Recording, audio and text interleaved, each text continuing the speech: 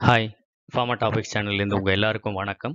வாங்க நம்ம irritable bowel disease, இல்லை இரிட்டபிள் பவல் சிண்ட்ரோம் அப்படின்னா என்னது? அதுல என்ன ட்ரக்ஸ்லாம் யூஸ் பண்றாங்க அப்படின்னு பார்ப்போம் இந்த வீடியோவில் இதில் ரெண்டு வகையான இரிட்டபிள் பவல் டிசீஸ் இருக்கு. அதை இன்ஃப்ளமேட்டரி பவல் டிசீஸ்னு சொல்லலாம். ஒன்று ஒரு சிறு பகுதி ஜிஐ ட்ராக்ல வந்து இன்ஃப்ளமேஷன் நடந்திருந்ததா? நிறைய ரீசன்ஸ் இருக்கு. அப்படி சிறு பகுதி வந்து இன்வால்வ் ஆயிருந்ததுன்னா அது கிரான்ஸ் டிசீஸ். பெரும்பகுதி அஃபெக்ட் ஆயிருந்தது அப்படின்னா அந்த டிசீஸ் பேரு அல்சரோட்டிவ் கொலைட்டிஸ்.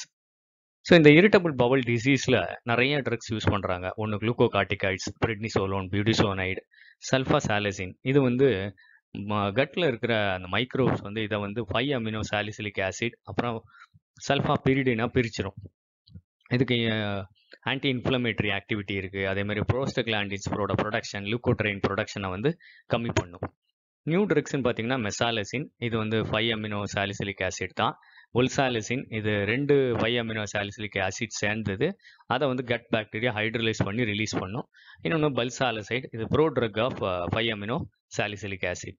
அப்புறம் இம்யூனோ சப்ரசன்ஸ் யூஸ் பண்ணுறாங்க azathioprine, 6 mercaptopurine and methotrexate.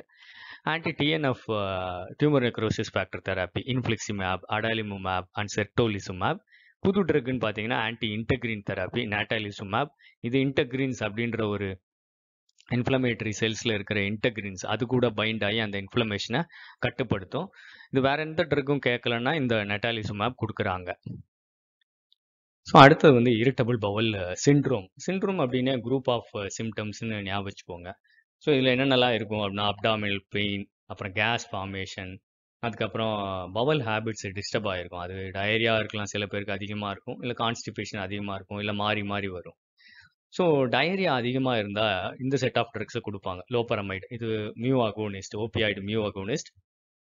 புது ட்ரக்ஸ் அப்படின்னு பார்த்தீங்கன்னா ஃபெடோடோசின் இது ஓபியாய்டு கப்பா அகோனிஸ்ட். அப்புறம் எலுக்சடோலின் இது opioid mu and kappa agonist.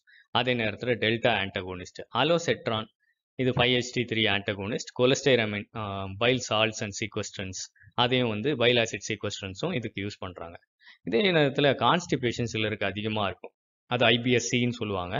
அதுக்கு இந்த ட்ரக்ஸ் யூஸ் பண்ணுறாங்க laxatives lubi laxatives, lubiprostone, linaclotide, prucalopride, 5-HT4 agonist இதெல்லாம் யூஸ் பண்ணுறாங்க அப்புறம் பெயின் இருக்கும் சில பேஷண்ட்ஸ்க்கு. அந்த பெயின் ரிலீஃப்காக ஆன்டிகோலினர்ஜிக்ஸ், ட்ரைசைக்ளிக் ஆன்டி டிப்ரசன்ட்ஸ், அப்புறம் வந்து செலக்டிவ் செரட்டோனின் ரீஅப்டேக் இன்ஹிபிட்டர்ஸ்லாம் யூஸ் பண்ணுவாங்க.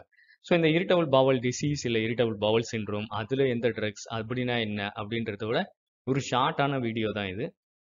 இந்த இன்ஃபர்மேஷன் உங்களுக்கு பயன்படும்னு நினைக்கிறேன் இந்த வீடியோ கேட்டதுக்கு ரொம்ப நன்றி. உங்களுக்கு ஏதாவது டவுட்ஸ் இருந்தால் கமெண்ட் செக்ஷனில் போஸ்ட் பண்ணுங்கள் இந்த வீடியோ உங்களுக்கு பிடிச்சிருந்தா லைக் பட்டனை ப்ரெஸ் பண்ணுங்க. ஃபார்மா டாபிக்ஸ் சேனலுக்கு சப்ஸ்கிரைப் பண்ணி எங்களை என்கரேஜ் பண்ணுங்கள் இந்த வீடியோ கேட்டதுக்கு ரொம்ப நன்றி.